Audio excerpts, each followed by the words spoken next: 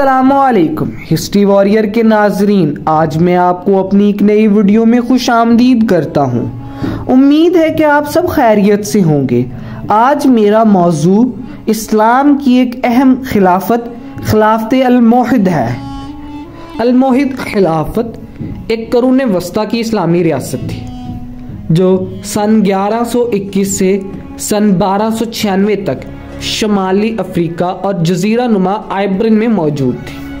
इसकी बुनियाद एक बरबर मजहबी रहनमा इब्ने तमृत ने रखी थी, जिसने इस्लामी की सख्त तशरी की तबलीग की और इस्लामी बुनियादों पर एक पाकिज़ा माशरा कायम करने की कोशिश की।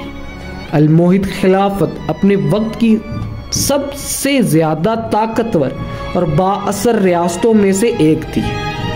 जिसने एक वसी सल्तनत शुमाली अफ्रीका, जनूबी स्पेन और पुर्तगाल के कुछ हिस्सों पर फैली हुई थी। खिलाफत का दारुल हकूमत असल में मराकश में था, लेकिन बाद में इसे स्पेन के शहर सेवल में मुंतकिल कर दिया गया। अलमोहिद खिलाफत के तहत इस्लामी कवानीन की सख्ती से पाबंदी और गैर इस्लामी असरात को रद्द किया गया। इसकी वजह से बहुत से कदीम यादगारी और फन पारे तबाह हुए, जिन्हें गैर इस्लामी समझा जाता। ताहम, खिलाफत ने रियाजी, फल्कियात और तिब जैसे शोबों में अहम शिरकत ताहम, खिलाफत ने रियाजी, फल्कियात और तिब जैसे शोबों में अहम शिरकत की। साथ सकाफती और साइंसी कामयाबियों के दौर को भी फ़रोग दिया।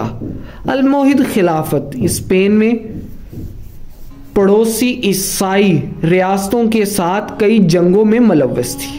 ख़ास तौर पर सल्तन कैस्टाइल। इन तनाज़ात को महकावारी लड़ाइयों के एक सीरीज़ ने निशाने जद किया, जिसमें 1212 में लास निवास डी टॉल्सा की लड़ाई भी शामिल थी, जिसके नतीजे में अलमोहिद अफवाज को इब्रतनाक शिकस्त हुई और खिलाफत के जवाल का आगाज़ हुआ।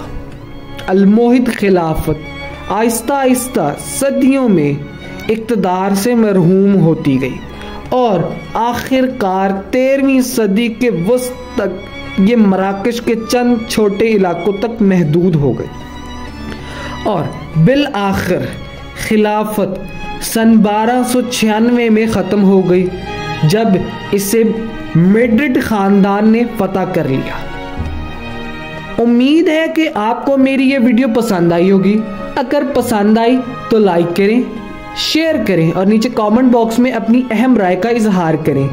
और नोटिफिकेशन बेल का बटन दबा दें ताकि आपको मेरी आने वाली हर वीडियो का पहले नोटिफिकेशन मिल सके।